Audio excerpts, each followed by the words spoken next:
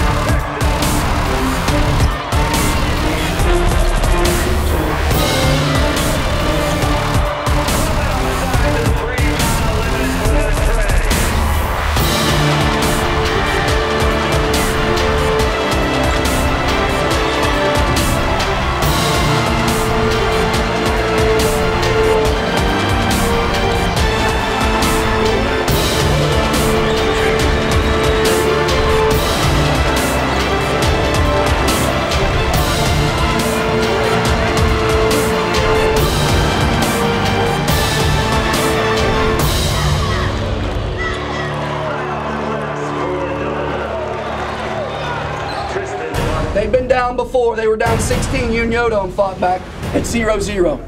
Don't let them be tougher than us. Don't let them be tougher than us. Let's go.